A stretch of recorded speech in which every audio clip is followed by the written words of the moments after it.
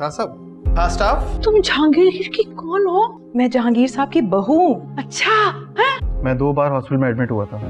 कोई एक बार भी मिलने नहीं आया मुझसे। अब मुझे नहीं मिलना किसी से। वो माहिर के खिलाफ तब जाएगी जब उसके किरदार पर उसे यकीन न रहे। शबीर भाई ने मुझे धमकी दी थी कि अगर मैंने बाजी को कुछ भी बताया तो मुझे बदनाम करके नौकरी से निकलवा देगा।